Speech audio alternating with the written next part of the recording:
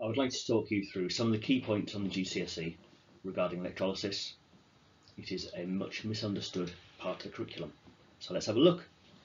So I'm sitting here looking at a reasonably simple one. This one is copper chloride and copper chloride is an ionic substance and it does not conduct when it's solid. You can get some of that. It does not conduct. The reason being it's all stuck together in a lattice. I think that might be a picture of sodium chloride actually, but it's not relevant.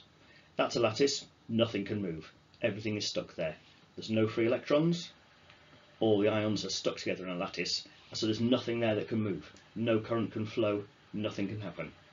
However, it's different when you put it in water, because once you put it in water, it is soluble, and it goes into solution and it forms ions. And you can see it forms copper, 2 plus ions, and chlorine negative ions. Now those are all free to move. They can zoom around the place and they can carry charge. But at the moment, they're all just going around in any direction at all, and they're not particularly taking anything from one place to another. It's just what's going on. Now then, if we stick some electrodes in there, we can try and get that to conduct. Now, the electrodes and the wires and the battery and everything else is all made of electrons and protons. Now, just like everything else in the world, those electrons can possibly move if you're given the right circumstances, but the protons can't. So there we are, the electrons all zoom over to the cathode. That's just based on which way around the battery is connected up.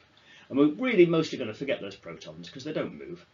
The electrons have gone over to the cathode and the left-hand one is the anode. It's full of positive charges which can't move. Now, it's attract. We've got the copper ions, they go over to the cathode and the negative anions, they go over to the anode, just because opposites attract.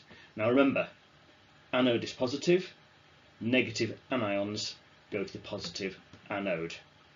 Seems a bit weird that.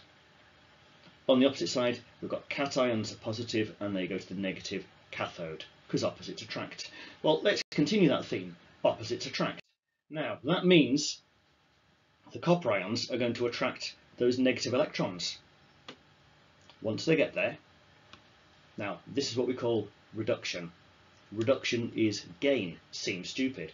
Reduction is gain of electrons. And we can see copper 2 plus in the little formula there, the half equation, copper 2 plus plus 2 electrons becomes totally normal copper.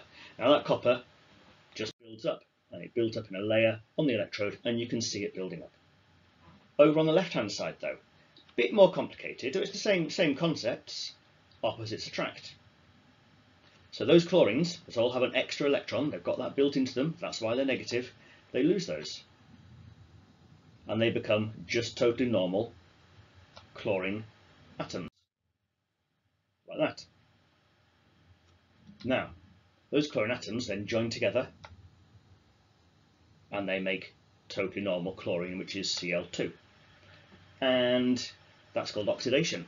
The oxidation is the gaining of electrons. Sorry, it's the loss of electrons. Oxidation is loss of electrons. They lost their electrons into the anode.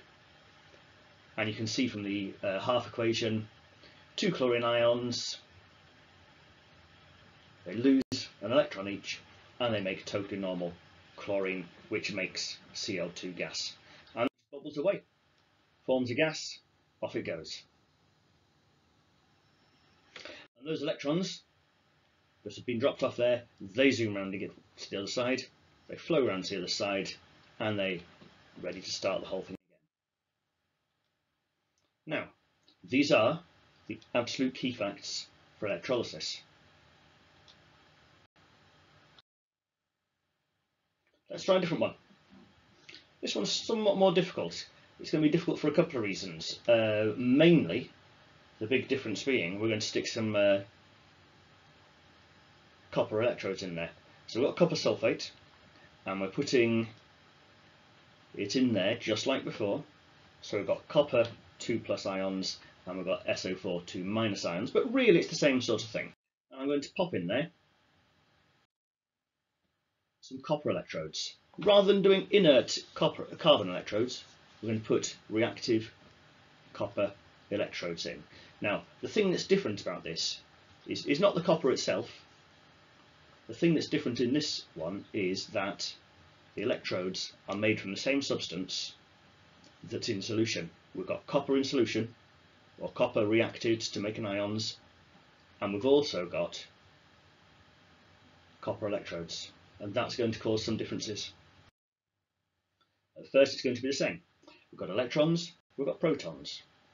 We turn the power on, and the electrons are going to flow over to the other side, just like before, making the one on the right is the cathode, and the one on the left is the anode. Now then, the thing is that anode, the anode is made of copper, and it's got missing electrodes, missing electrons. So actually, that electrode is exactly the same as those copper ions that are floating around in the water. It's all the same stuff. It's more like that. A copper electrode with missing electrons is essentially just copper 2 plus. Okay, so let's have a look what happens.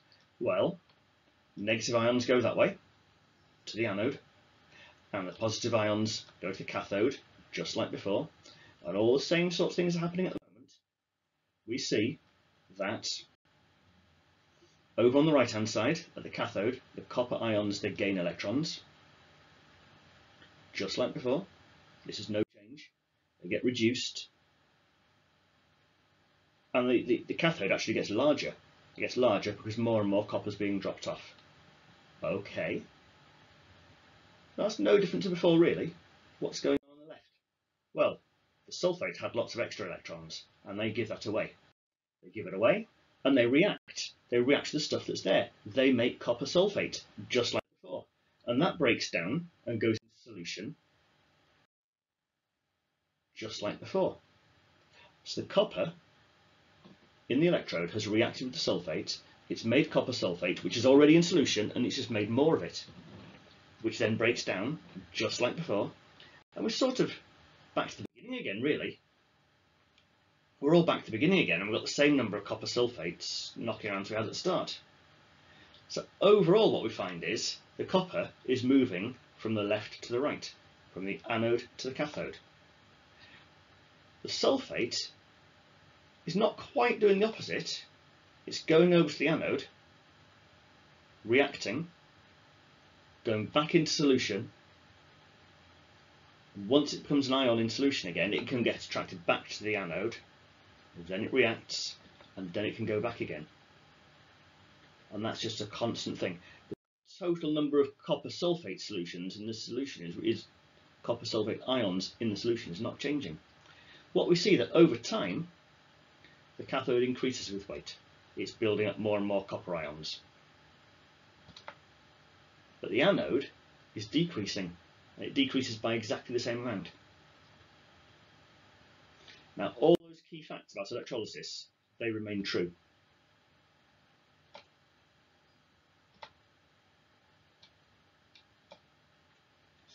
These are all the same true facts. If you can just remember those, you're, you're a long, long way down the line to pretty much explaining any kind of electrolysis ever.